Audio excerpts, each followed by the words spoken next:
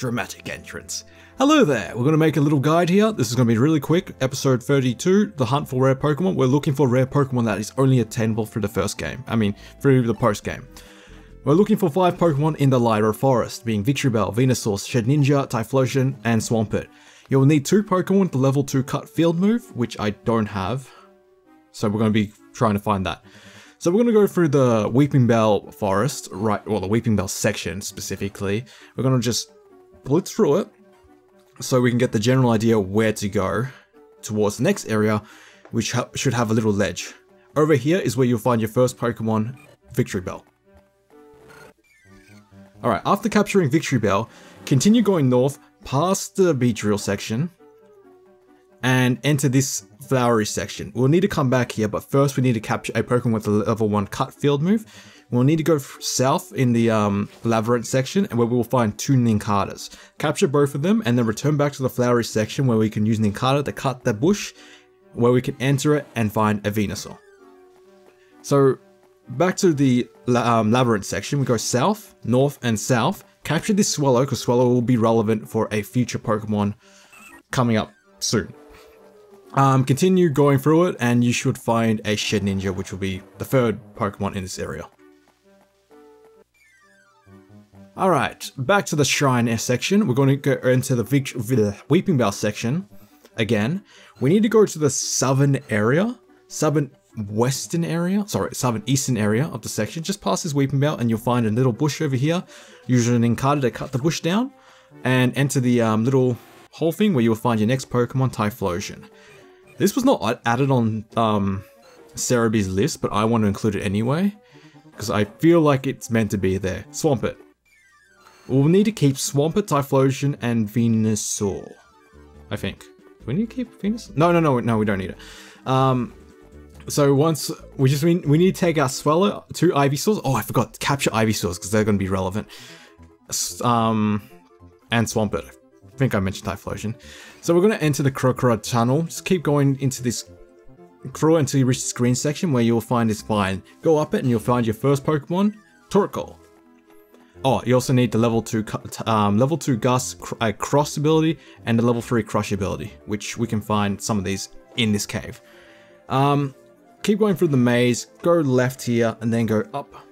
And you'll find these Zubat area. We hate this section. Don't get hit by the Supersonic. It's going to be annoying. This is where you Swellow to wake up Parasect, and you can capture it for your next Pokemon. Next, we need a Pokemon le the level 3 Crush Field move. We, it's pretty simple. Just go up here into this little cave. You'll find a Machamp or a Hariyama. Either one will do. This is where, you go to this section, is where you'll need the Cross ability. Cross it to go to the next section. You'll need to go south where you'll find a giant boulder, where is where you need to use the level 3 Crush Field move. Keep going south and you will find your next Pokemon, Dugtrio. Alright, back through the town. Um, we gotta go into the Paluna? Paluna Cave? I hope I said that right. Um, go to the section where you captured Torkoal and go up the vine and you will find yourself in the Paluna Cave. Watch out from these uh, Crobats, they're pretty annoying. So just go south there and you'll find your next Pokemon, Absol.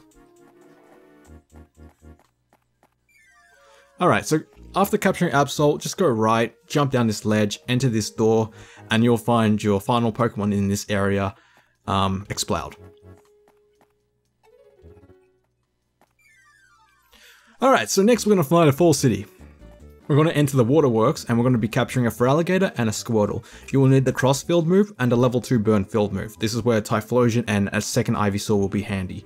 Well, technically don't need Ivysaur because you can also use a Tangela which is further up, but Ivysaur is just much more convenient. So, um, you'll need to go to practically the ending section of this, um, of the waterworks. There's no easy way to get there. You just have to take the long way. Just go through it and eventually you will find a um a little you know water area with a thing where you can cross. Use your Ivysaur or Tangela to cross, and you'll find this scrap of junk, burn it, and then just go up this, go down there, and you'll find this little section there. Feraligatr will jump out, and that will, that's where you capture Feraligatr. As for Squirtle, I'm not sure if this is a post-game thing, but I want to include it anyway. Because you can capture um, Tangela in this section. So just keep going right here, your Squirtle will pop out. I don't know if that's a post-credit thing, but I just want to put it in there just in case. Alright, so now exit the full um, waterworks and we would like to enter the Dusk City, um, Dusk Factory, sorry. You'll need the level 1 cut field move, which is no problem at all.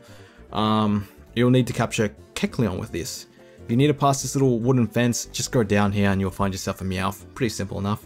Um, use Meowth to cut the, um, the wooden fence for you to progress. Kecleon is invisible. It's very faint, but you can see it. I didn't see it in my actual gameplay, but post gameplay, I was like, oh wait, there it is. A little right there. So next to Pichu right there, that's Kecleon. Um, so now go back to Fall City and actually go through the proper entrance to the Dusk Factory, enter the first door, and then go to the western door, sorry, eastern door, where you'll find invisible um, Porygon. And now exit that section, go to that western door, and go slightly up and you'll find yourself a Haunter. And that's that section done. Fly to Summerland. Um, this section probably should have been last, but whatever. Um, you'll need the level 1 Gust, level 2 Gust, and level 3 Soak Field move. We've got um, Swampert there, so yeah. I had to go to Wintown to like capture some Taillows and a Swellow just to help myself. Um, so we, yeah, use level 1 Gust and you'll wake up that Oddish, pretty simple to find. For Meganium, you need to go to the bug section right here, and well, Meganium's just sitting there. Pretty simple enough. So return back into the main section of the Olive Jungle and just go all the way to essentially the entrance of the Relic Jungle. And there you should find like a flower. Again, you will need the level 2 Gust field move, which I have my, um, what's it called? Swellow to use. Maybe I actually went to Lyra Forest to capture them. Whatever, doesn't matter. You'll need to get your, a Pokemon with the Gust field move. And after, once you awaken, um, Gloom, um, capture it, and then enter the Relic Jungle. I mean, the, yeah, the Relic Jungle? Jungle Relic, sorry, Jungle Relic, that doesn't sound right at all. Alright, so just progress to the section where you battled Entei. You know, the first time you battled Entei, and there you should find a Meganium. I mean, not Meganiums. there you should find an Arcanine. And yeah, capture it and add it to your Ranger Dex.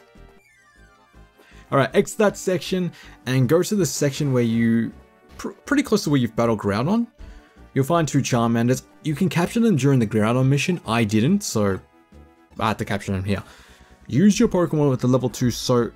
Or was it level 3? I don't remember. Level 3 Soak Field move just to be safe. I have Swampert. And um, go to this section over here. You'll find Charmeleon. Very nice. I'm not sure if you can capture that with Groudon as well, but whatever. Um, next section. Wintown, the Second Range and the Go Rock base. You'll need a level 3 Crush Field move for this section specifically, the level 3 Gust Field move, and two level 2 Cross Field moves. Um, use it, use your Crush Field move and you'll get yourself a Kangaskhan. So in this main intercept here, go left, and just keep progressing where eventually, this is where a good section where you would um you use the level 2 Gust Field move for the Summerland section, but whatever. Just keep progressing forward and um, Find yourself Altaria, because I believe this is the only section where you can find a Pokemon with level 3 Gust Field move, unless is full of crap. It's possible, the, the site is a bit... I mean, this sec the game section about Pokemon Range is a bit wishy-washy. Anyway, go to around this boulder section here, you'll find yourself a Vileplume. Use Swamp... Uh, it, jeez. Use Altaria's level 3 Gust Field move and awaken, um... That Oh god, it's right there. What is his name? Vileplume, thank you. Vileplume. Alright, so again, just progress forward to the Go Rock squad, capture yourself two Tangelas, or else it's going to be a bit, bit of an issue. Just keep progressing forward, and you'll find yourself back into the um, Go Rock um, Rock base.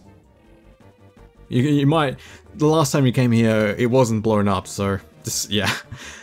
As for this section, just keep progressing forward, no issues here, and eventually you should run into Metagross.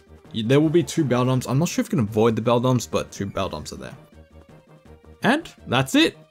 Thank you for watching. I caught myself a Tyranitar just to look, make my team look pretty cool. Man, look at that. Look at that. Sick team. Alright, thanks for watching. I'll catch you another time. So till then, see ya.